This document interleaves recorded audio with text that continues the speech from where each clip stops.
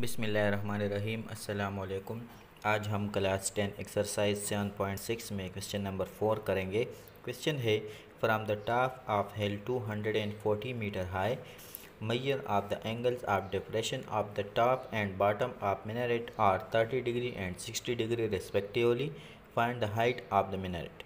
हमारे पास गिवन है कि एक हेल है जिसकी हाइट 240 मीटर है। इसके साथ एक मीनार है और इस हेल का जो बॉटम के साथ जो एंगल बनाता है वो 60 डिग्री है और टॉप के साथ 30 डिग्री है। हमने मीनार की हाइट फाइंड करना है। तो इसके लिए सबसे पहले मैंने एक रफली एक स्केच बनाया है।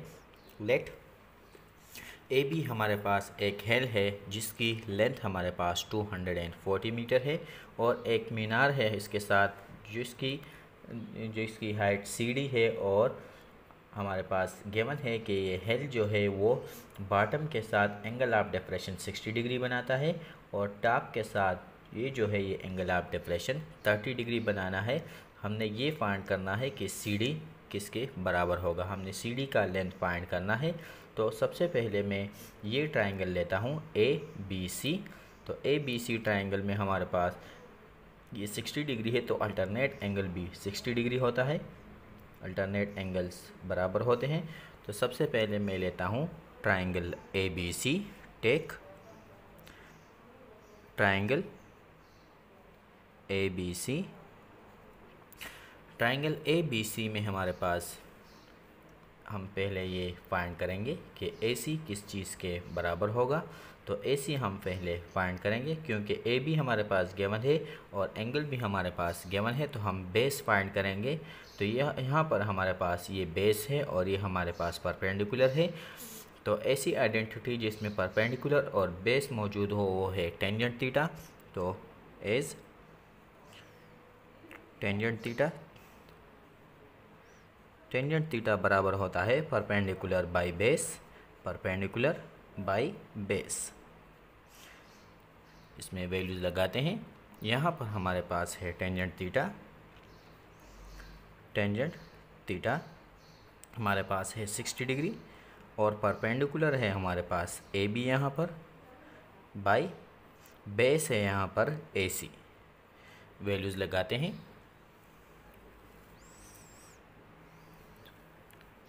So tangent theta tangent 60 degree is equal to A B है हमारे पास 240 और ए सी हमने फाइंड करना है पहले तो ए सी आ जाएगा। सो टेंजेंट 60 डिग्री बराबर होता है square root of three square root of three is equal to 240 by A C so cross multiply करते हैं तो ये हो जाएगा square root of three A C is equal to two hundred and forty both side को square root of three से divide करते हैं तो ये हो जाएगा A C is equal to two hundred and forty by square root of three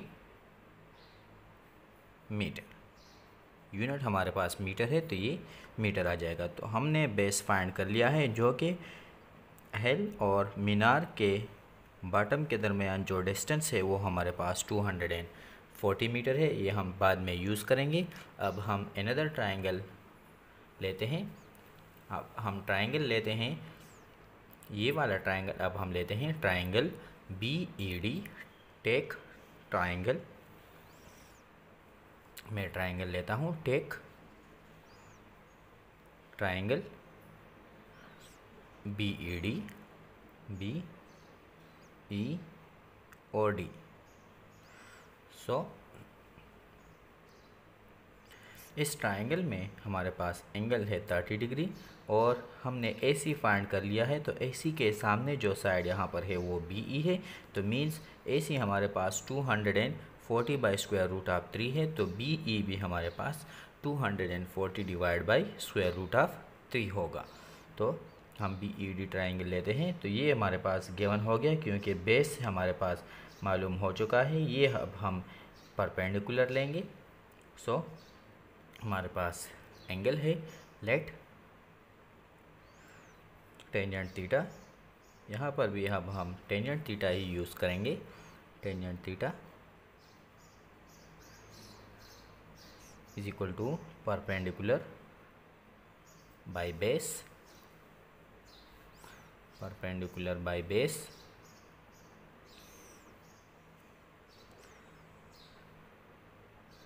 so so, angle हमारे पास यहाँ पर है thirty degree so tangent thirty degree tangent thirty degree is equal to perpendicular है यहाँ पर हमारे पास ई e डी और बेस है हमारे पास ई बी या B E E B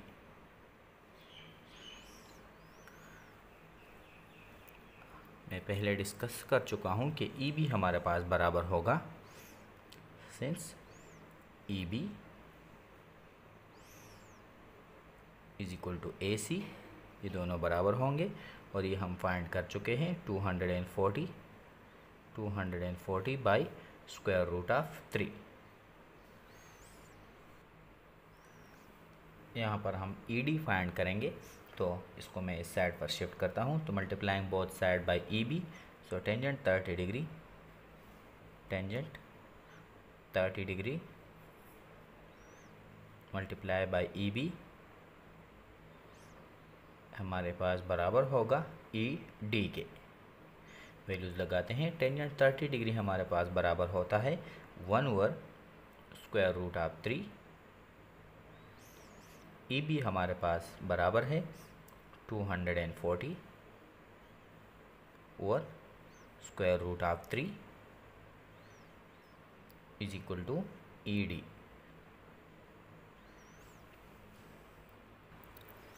so ED is equal to to one multiply by two hundred and forty और square root of three into square root of three so ED is equal to two hundred and forty by square root of three whole square तो square और square root cut जाएँगे is equal to two hundred and forty by three E D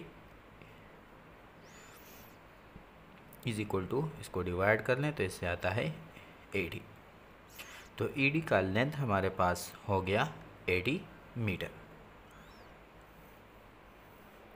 अब हम again figure को देखते हैं. हमने find कर लिया है E D is equal to eighty metre हम फाइंड करेंगे लेंथ ऑफ़ सी डी अगर हम फिगर को देख लें तो सी डी हमारे पास बराबर होगा। अगर हम ई e सी से ई डी माइनस कर लें मीन्स इन सबसे अगर हम ये माइनस कर लें तो हमारे पास सी डी आ जाएगा और ई e सी हमारे पास एक्चुअली बराबर है ए बी के। तो ये हम यूज़ करेंगे। सेंस सी डी हमारे पास बराबर होगा, जो कि हमारे पास लेंथ ऑफ़ मीनार है। ई सी माइनस ई डी और ई सी हमारे पास बराबर है E C is equal to A B के जो कि हमारे पास गिवन है 240 मीटर सो वैल्यूज़ लगाते हैं। C D is equal to E C हमारे पास हो गया 240 मीटर और माइनस ई डी हम फाइंड कर चुके हैं eighty metre. So C D हमारे पास बराबर हो गया, इसे ये माइनस कर लें तो इससे आता है 160 मीटर। जो कि हमारे पास लेंथ आप मीनार है तो लेंथ ऑफ़ मीनार हम फाइंड कर चुके हैं, जो कि है 160 मीटर तो यही हमारा रिक्वायर्ड आंसर है।